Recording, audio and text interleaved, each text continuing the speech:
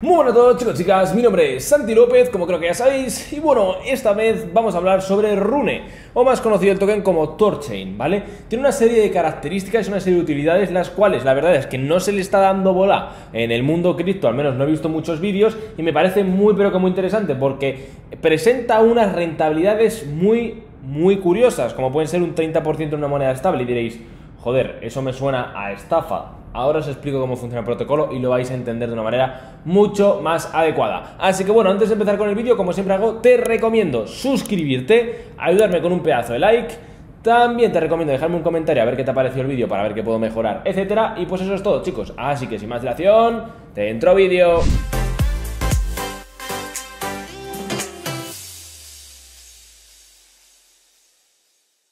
Bien, el proyecto de Torchain, la primera característica más importante de todas es que es descentralizado, ¿vale? O al menos es lo que se está persiguiendo. Vamos a la página. La red de liquidez transversal descentralizada y autónoma. 99 Tor nodes activos, 31 en espera, 3 días, 8 horas y 71 minutos hasta el próximo abandono. 244 millones de TVL, 31 fondos de liquidez, 21% promedio en API acumulado. Bien, la misión de Torchain tiene como objetivo descentralizar la liquidez de las criptomonedas a través de una red de Tor nodes públicos y productos del ecosistema. El acceso a su liquidez nativa entre cadenas está abierto a cualquier persona, producto o institución. Pero para llamar tu atención y ahora seguir explicándote el proyecto, te voy a venir aquí a TorSwap y mira, mira esta rentabilidad en BUSD en la red de Binance de un 30%. Te llama la atención, ¿verdad? Pues quédate hasta el final del vídeo que te voy a explicar todo.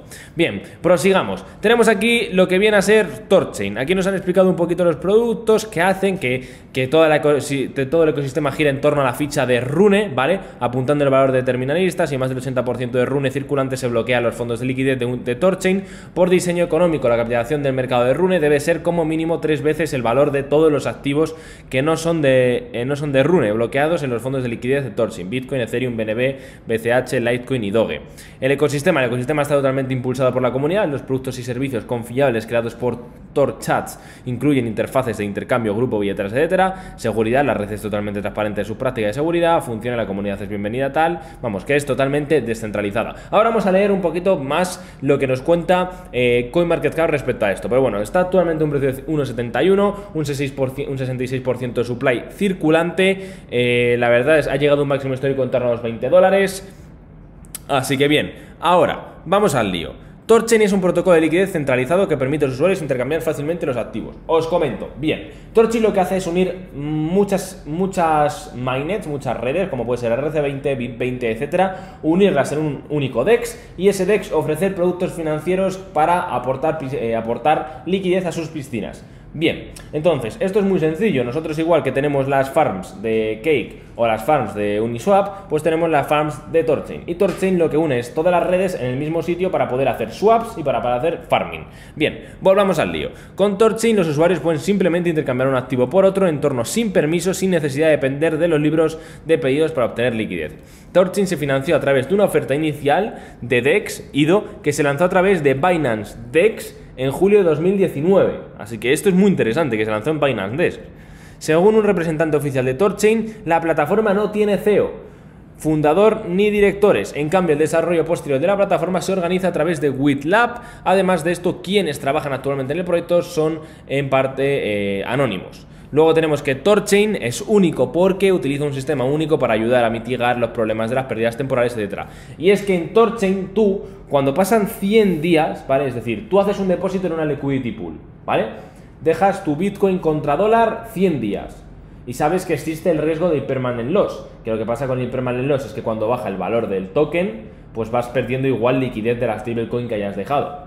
¿Vale? Entonces el permanent loss cambia el número de tokens que recibes. Pues, si mantienes esa operación 100 días sin tocarla en TorSwap, no hay impermanent loss, ¿vale? Es un bono que tienen ellos por permanecer 100 días aportando tu liquidez, no tienes impermanent loss. Entonces, esto es muy interesante porque es un punto a favor dentro de lo que viene a ser diferente al resto de pools, al resto de farms, etc. Importante esto, cuando hagas el depósito, si tú haces interés compuesto, es decir, retiro los rune y los vuelvo a invertir en la misma pool, se resetea y empezaría otra vez de nuevo los 100 días. Por lo tanto, cada depósito nuevo que hagas dentro de esa pool va a ser el que va a decidir si eh, empiezan otra vez de nuevo los 100 días o eh, si no vuelves a interactuar con ella, pues no, empezarían, contarían como siempre.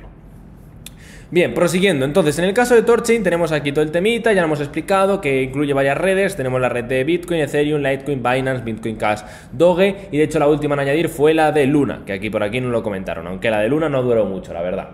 Bien, y ahora tenemos la de Tor Swap, ¿vale? En Tor Swap tenemos rentabilidades muy interesantes. Por ejemplo, aquí podemos elegir en qué redes las queremos. En momento vamos a poner las de BIP20 y estas son las rentabilidades que sacamos en BIP20. En Ethereum nos dan un 30%, en Bitcoin un 22%, en BUSD un 31%. Bien, muy bien. Vale, ahora por ejemplo, si nos venimos aquí a conectar porque queremos empezar a tradear, tenemos la posibilidad de Metamask, XDeFi, Terra Extension, Ledger, etc.